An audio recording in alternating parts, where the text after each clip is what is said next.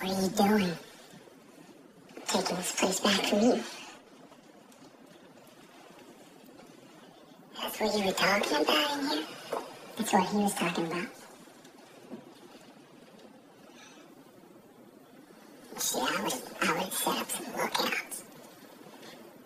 That would have been a smart thing. You know, if I have to...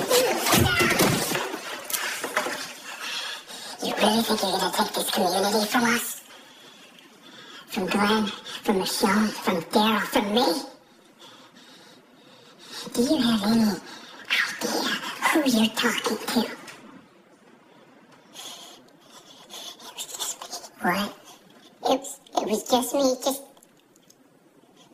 just kill me.